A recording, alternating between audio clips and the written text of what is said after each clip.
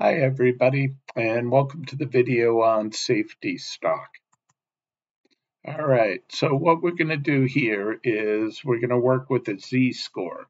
Um, I call the first formula here formula A is the typical formula right out of the book and then I just solve the same formula for X and I call that formula 1B. It's really the same formula, it just makes it easier to work with in this form. All right, so back to our Formula 1A. We use Formula 1A for finding our service level policy when we're given an amount of um, uh, extra units to keep in safety stock. So let's make believe we're given this information right here. Uh, we're give, we've already calculated our reorder point, so that's the same thing as our mu, so I'm just um, going to put it up here. Um, just to make things easier, I'm just going to uh, create range names so we could see the formulas. All right, so this is simply um, my reorder point here. Uh, my X is my reorder point, um, plus how many extra units we're adding. Let's say that your boss told you to keep an extra 10 units in uh, safety stock. So that would go there. Uh, we're given a, a, standard deviation of 12. Um, this is known as a scaling factor in here because the area under the curve is standard normal, so we have to multiply it by the scaling factor uh, to re relate our real problem uh, to the standard normal curve. All right, so what I like here is um, uh, by defining the range name so we can actually see the formula. So we have x minus mu um, divided by our standard deviations. All right, so that gives us a z-score of 0.83. What we need is our service level policy based on that. So we're going to go to the z table, and we have 0.8 here and we have 0.3 over there. I'll show you one cool thing you can do is you put in an equal sign here, go back to the z table, we have 0.8 and 0.3 is right there. Um, now if I hit enter, it just brings it forward for me.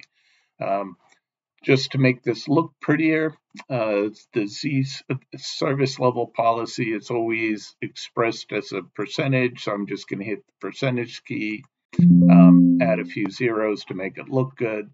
So a little over 79% of the time, we'll have units in stock when a customer comes in and wants to place an order.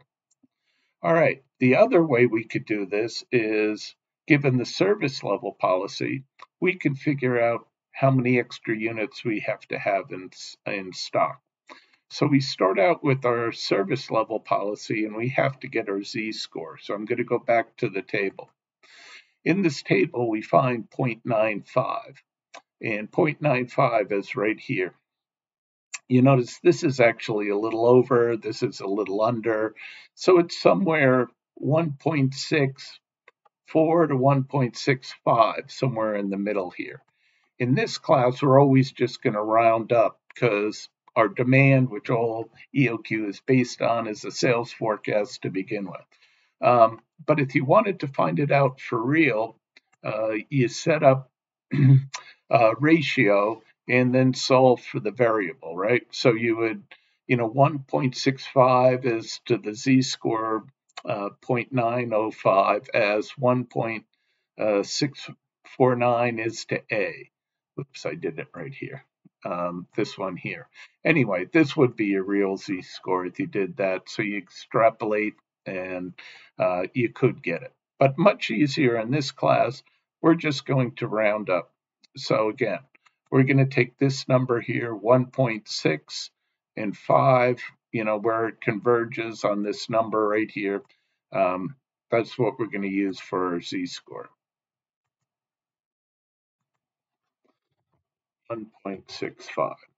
All right, so my standard deviations are, um, oops.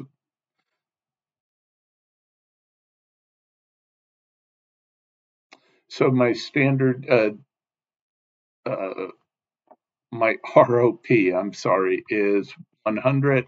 Um, my standard deviations are 12. Um, uh, from that, we could figure out our x. We actually like to do x minus u mu first, because this gives us the number of units of safety stock, uh, which is really what you're looking for. So rather than two calculations, I always just do one. So I'm just going to put my z-score scaled by my real world standard deviation. Um, right here. So that means I need 19.8. And if I wanted to get my total inventory level to that, I would just add um, my reorder point. All right, so that's all there is to it. Um, I hope you uh, enjoyed this video. If you liked it, please give us a thumbs up. Have a good day.